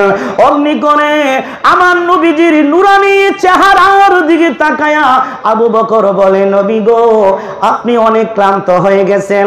এইবার আপনি আমার উরুর উপরে মাথা রেখে আপনি একটু ঘুমান। সুবহানাল্লাহ। নবী, আপনি কি করেন? একটু রেস্ট একটু ঘুমান। আবু বকর বসে রইলেন, গুহার মধ্যে একটা পাও, গর্তের মধ্যে একটা পাও দিয়া আবু বকর বসে রইলেন। অমনি করে আমার নবী আবু বকরের উরুর উপরে মাথা রেখে আমার নবী সুবহানাল্লাহ। আহারে, আমার নবী যখন ঘুমায়া গেলেন, আবু বকর তিনিও বসে রইলেন। আবু বকরের উরুর উপরে আমার নবী মাথা রেখা ঘুমায়। হঠাৎ করে ওই গুহার মধ্যে একটা বিষাক্ত সাপ ছিল, সে আগেই জানতো। আমার নবী রহমতুল্লিল আলামিন এই গুহার মধ্যে আশ্রয় নিবে বলেন সোবা সাফের মনে আসা রহমতুল্লিল আলামিন যখন এই গুহার মধ্যে আসবে, আমি সাপ আমার নবীকে দেখে ধন্য হব, সুবহানাল্লাহ। সাফে নবীকে দেখার জন্য কি? পাগল, দেওয়ানা। সাপ নবীকে দেখবে, সাপ বুঝতে পারল আলামিন, মায়ার নবী, রহমতের নবী, বরকতের নবী গুহার মধ্যে এসেছেন। সাপ পাগল পারা হয়ে গেল। কেমন করে নবীকে দেখা যায়? গর্ত থেকে বের হওয়ার জন্য পাগল পারা হয়ে গেল, ছুটাছুটি আরম্ভ করে দিল। কিন্তু সাপ তাকায় দেখে একটা গর্ত খোলা নাই। সবগুলা গর্ত বন্ধ হয়ে গেছে। জোরে বলেন, ঠিক কি না সাপে আশ্চর্য হয়ে গেল, ফিরে এতক্ষণ না গর্তগুলা খোলা ছিল বন্ধ করল কে? আহারে, আমি কি আমার নবীকে এক পলক দেখতে পারব না? পাগলের মতো চটফট করল, হঠাৎ করে তিনি তার মাথাটা এমন করে ঠোকায়। দেখে কোন জায়গা দিয়া বের হওয়া যায়নি। তাকায়া দেখে একটা জায়গা একটু নরম নরম লাগে। ওই জায়গাটার মধ্যে তিনি কামড় মারলেন, কি মারলেন? সাপের ইচ্ছা হলো যে করে হোক আমার নবী রহমতুল্লিল আলামিনকে দেখতে হবে। আবু বকর বিষাক্ত সাপের যন্ত্রণা তিনি আর সহ্য করতে পারে না। আবু বকর পাউটা নাড়াই না। কেন নাড়াই না? আমি যদি আমার পাউটা নাড়াই, আমার নবীজির ঘুম ভেঙে যাবে, আমার নবীজির কষ্ট হয়ে যাবে। আহারে, ঘুম নষ্ট হয়ে যাবে। আবু বকরের জান বের হয়ে যাচ্ছে। আবু বকর বিষাক্ত সাপের বিষের জানায় বিষের যন্ত্রণায় সহ্য করতে পারে না। আবু বকরের চোখ বেয়ে বেয়ে পানি পড়তেছে জমিনের মধ্যে। তারপরে পাওনারায় না, আমার নবীজির কষ্ট হবে।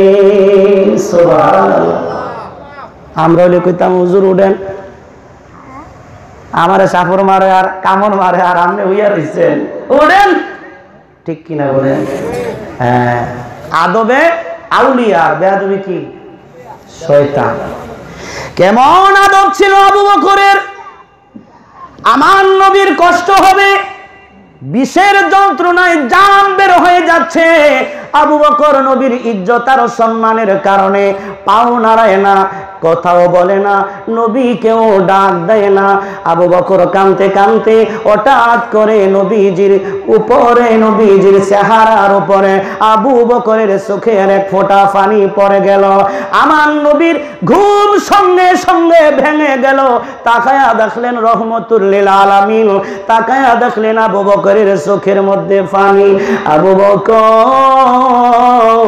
ও আমার সাহাবি আবু বকর, তুমি কেন কান্দরে আমি নবীর কাছে বলো, আবু বকর বলে না, আবু বকর, তোমার কি হয়েছে?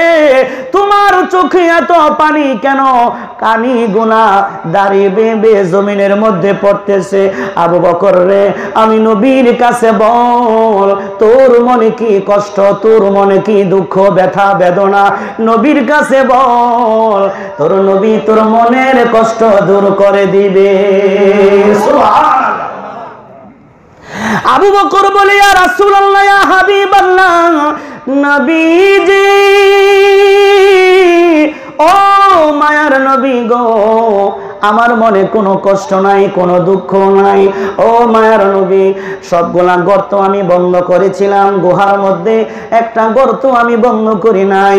ওই গর্তের ভিতর থেকে বিষাক্ত সাপ আমাকে দংশন করেছে। ও নবী গো, বিষের জ্বালায় আমি টিকতে পারি না, এই জন্য আমি কাঁদতেছি গো নবী। আমার নবী বলেন, আবু বকর রে, কোথায় তোমার যন্ত্রণা? আমি নবীকে একটু দেখায় দাও। আমাকে দেখায় দাও। আল্লাহর নবী রহমতুল্লিল আলামিন।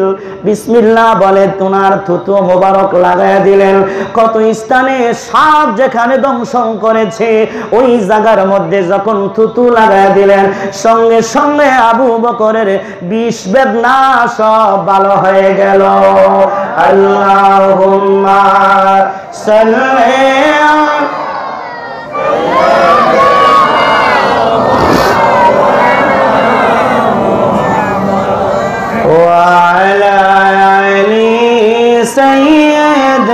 না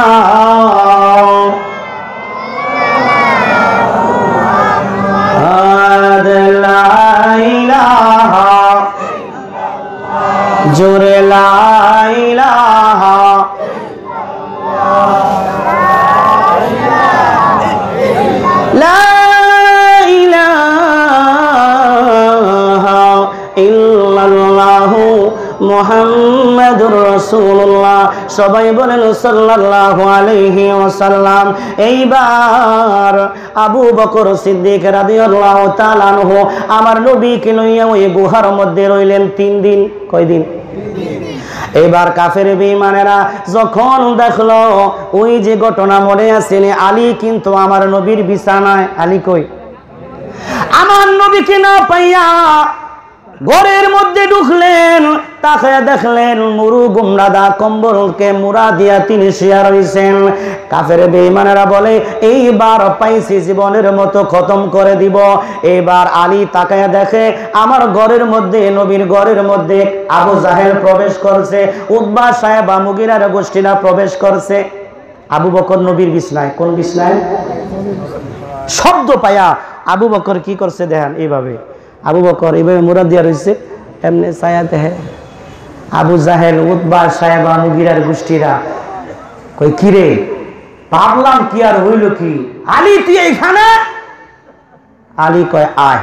তোরা সব দিয়ে আর আমি একলা। তোরা সব দিয়ে আমি কি? আয় সামনে আয়। কত বড় সাহস আমার রাসুলকে মারতে আইসস। আয় দেখি কত বুকের পাটা আছে। আয় তোরা সব দি আর আমি আলী একলা। চিল্লা বলে সুবহানাল্লাহ। আলী কি কয় তোরা সবাই আমি? কার পাওয়ার হ্যাঁ? কারণ আলী জানে আমার নবী বলছে তার সঙ্গে আমার দেখা হবে। এই কাফেরের গোষ্ঠী আমার কিছু করতে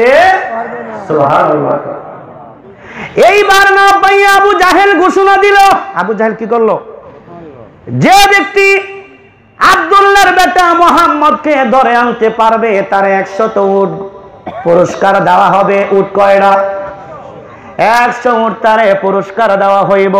মক্কার কাফের বেমানেরা তন্ন তন্নে করে খোঁজা আরম্ভ করে দিল সুরাকা। নাম কি? সুরাকা। নামে একজন বেঈমান। সে একটা খবর পাইল সুরাকারে অমুক জায়গায় তিনজন লোক আমি দেখছি এক জায়গায়। আমার মনে হয় ওইটাই মনে হয় রহমতুল্লিল আলমী দৌড়াইয়া গেলেন গোলায় সোয়ার হইয়া আমার যাইতে যাইতে যাইতে যাইতে আমার নবীজির ওই যে হেরা গুহার পাশে তিনারা চলে গেলেন।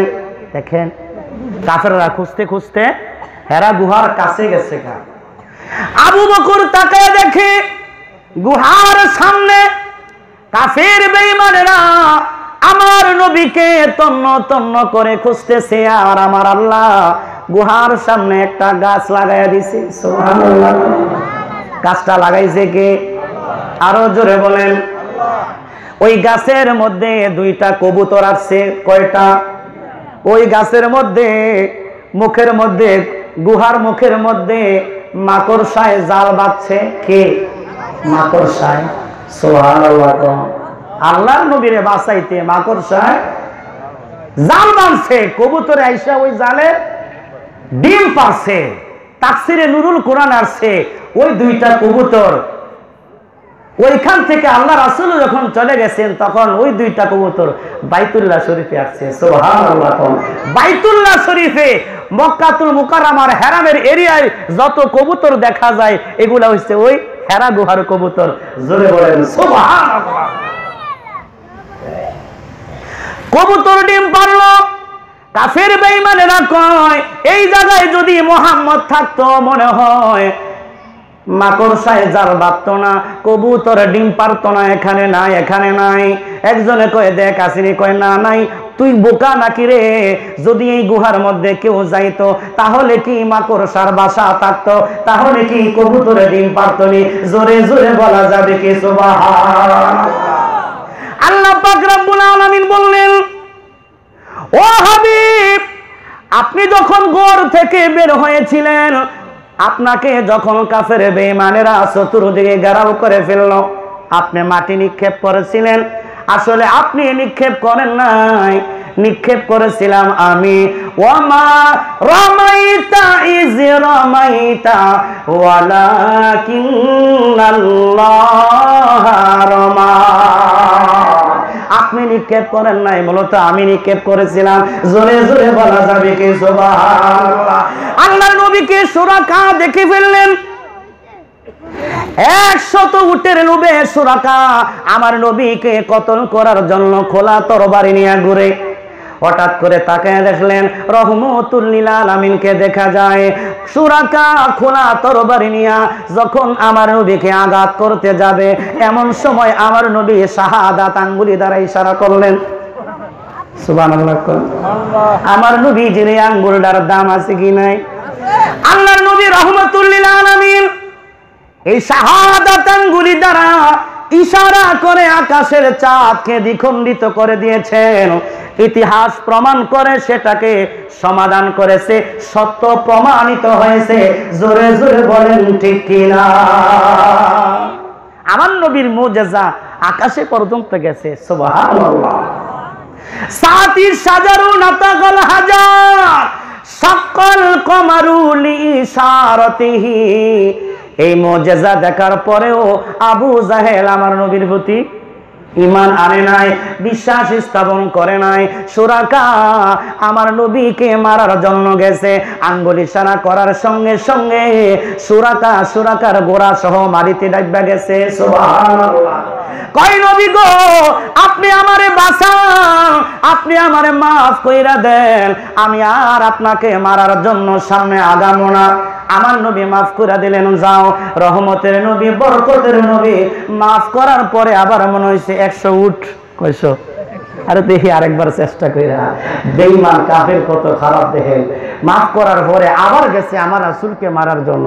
আমার রাসূলকে স্টপ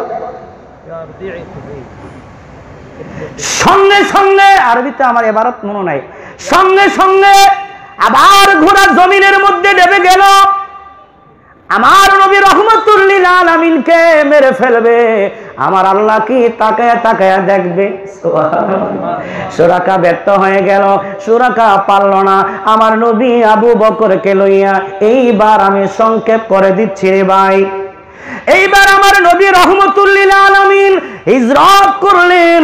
মদিনার অভিমুখে আমার নবী রওনা হয়ে গেলেন। মদিনার এরিয়ার ভিতরে আমার নবী রহমতুল্লিল আলামিন আবু বকরকে লইয়া আমার নবী যখন গেলেন, মদিনার ছোট ছোট বালকেরা আমার নবীকে পাইয়া খুশি না বেজার মদিনার মানুষগুলা আমার নবী রহমতুল্লিল আলামিনকে পাইয়া আমার নবীজির শানে গান গায় তলাল বাদরু আলাইনা সানিয়াতি বিদা। ওয়াজাবাদ শুকরু আলাইনা মাদা আলিল্লাহি দা। জোরে জোরে বলেন মারহাবা।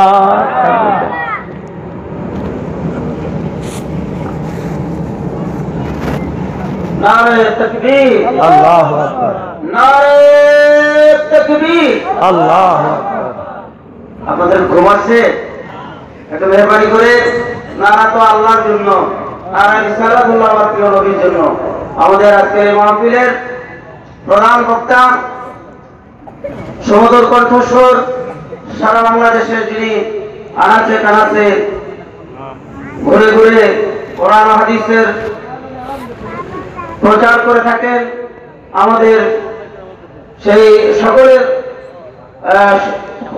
সুপরিচিত হজরতুল আল্লাহ হজরত মাওলানা হাফেজ মোহাম্মদ মারুফিল্লাহ সাহেব।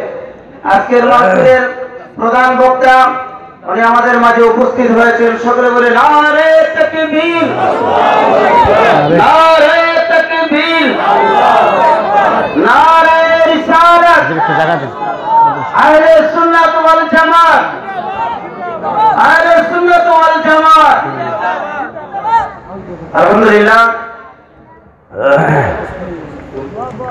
হুজুর যেহেতু এসে গেছেন, আমি আর আলোচনা দীর্ঘায়ী করব না, আমি দুই মিনিটে আলোচনা শেষ করে দেব ইনশাল্লাহ। আশি হিসাব আছে, আপনারা খুশি না বেজান আর জুড়ে বলেন, খুশি না বেজান আল্লাহ নবী রহমতুল্লিল আলামিন মদিনাতুল মুনাওয়ারায় যাওয়ার পরে ছোট ছোট বালকেরা আমার নবীকে দেখা। কত সুন্দর করে আমার রাসূলের শানে আমার রাসূলের আগমনে কত সুন্দর করে তারা কবিতা পাঠ করে। তলাল বাদরু আলাইনা মিন সানিয়াতি বিদা। ওয়াজাবাদ শুকরু আলাইনা মাদা লিল্লাহি দা। এত সুন্দর করে যখন আমার নবীজির শানে গান গায়, আমার নবীকে যখন তারা স্বাগতম জানায়, আমার নবী বাচ্চাদের চেহারার দিকে তাকায় মাথায় হাত বোলায় বলে, ও মদিনার মানুষেরা, ও মদিনার বাচ্চারা, তোমরা কি আমি নবীকে ভালোবাসবানি? আমি নবীকে তোমরা মায়া করবানি? ও আমার মদিনাবাসী, মক্কার মানুষেরা আমাকে অনেক অত্যাচার করেছে, জুলুম করেছে। আমি আমার মাতৃভূমি ছেড়ে মদিনায় ছেড়ে তোমরা কি আমাকে মায়া করবানি সবাই বলে, নবী গো, আমরা সবাই মদিনাবাসী, প্রাণের চাইতেও বেশি আপনাকে ভালোবাসবো। রাজি আছি সবাই? আল্লাহ আমাদের সবাইকে প্রাণ ভরে আমার রাসুলকে ভালোবাসার তৌফিক দান করুক বলে আমি দাওয়ানা